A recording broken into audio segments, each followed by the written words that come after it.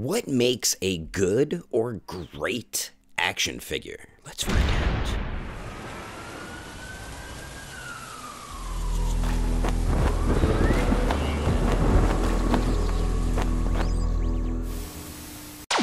So what is going on my fellow collectors? How is everybody doing today?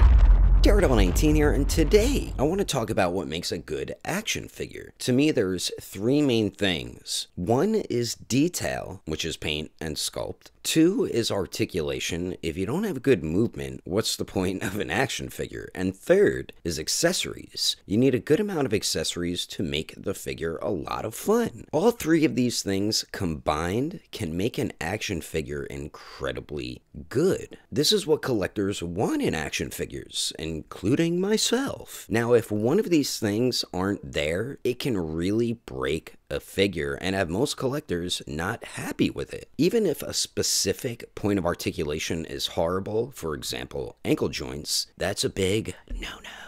But let's not get too ahead of ourselves and start it off with detail. So getting into the painting and sculpting or the mold, a big part of good sculpting is faces, especially when it's an actor's face. If that is off at all, collectors will just hate it. You don't want a face sculpt supposed to look like Robert Downey Jr. and it ends up looking like Nicolas Cage or somebody. Even comic versions or anime versions of characters, collectors want the faces to look accurate and true to that character. So a face sculpt can definitely make or break an action figure. Collectors also like nice sculpt detail to their action figures, and accuracy is another big thing. That is something Mafex is great with, accuracy. The faces are hit and miss sometimes with them, but they've gotten much better over time. Figuarts is usually always on point with faces as well. McFarlane Toys is a company that does struggle with actors' faces, but other sculpting on McFarlane Toys is very nice. Even Hasbro has been doing fantastic with their face sculpts. Now for paint, collectors do not like sloppy paintwork or sloppy line work, or fuzziness with line work. This is something that can really aggravate a collector. Another big thing with the faces is wonky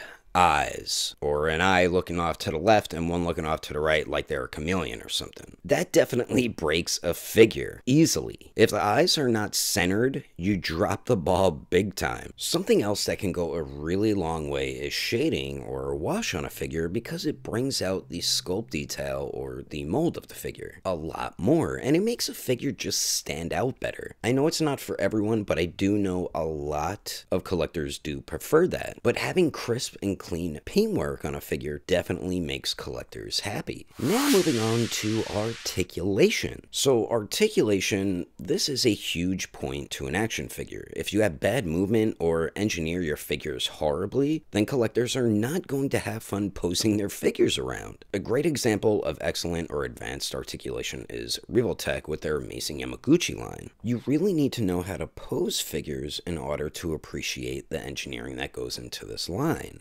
Figuarts can be hit or miss with articulation. Like their MCU figures, a lot of them suffer from bad movement. Even Figma have been lacking with their articulation. Another good example of great movement is the Buzzmod line. They really know how to work in good articulation. Hasbro has also been getting much better with their Marvel Legends line and their Black Series line. McFarlane Toys still struggles with articulation big time. They use these ratchet type joints, so when you try to stand your figure, it'll only work in certain ways, which really does get annoying. Even if you're putting them in certain like crouching poses, you can only move the ankles a specific way because of the ratchet joints. Ratchet joints are good on ankles, but only for big or heavy figures. Not every figure you make. So articulation must be worked in really good on a figure, or collectors won't have fun with them. So now the last main big thing about what makes a good action figure good is accessories. This one is also huge because minimal accessories means you can't do much with display options. Even if the articulation is there, you're still being limited to different posing options. Giving a figure multiple faces and hands is a huge plus, and really should be a basic necessity when it comes to an action figure. No other facial expressions or alternate hands can really dull a figure down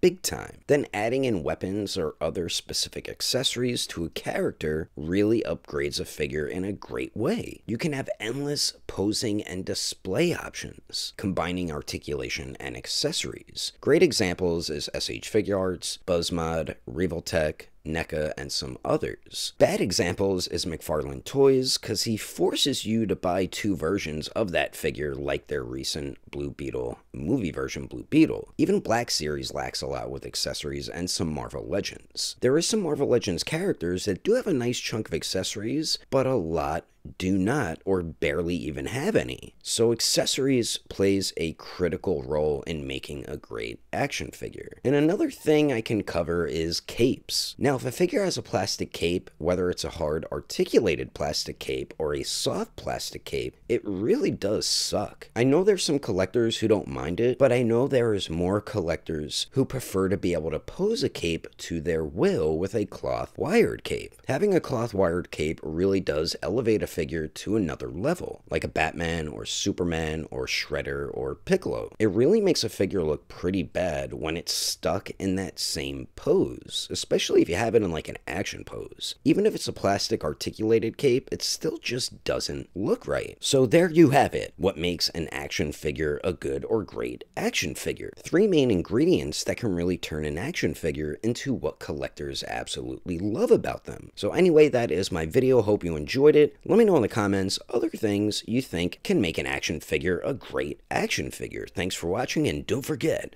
I will catch you on the next episode of Daredevil 19, and I will also see you guys later!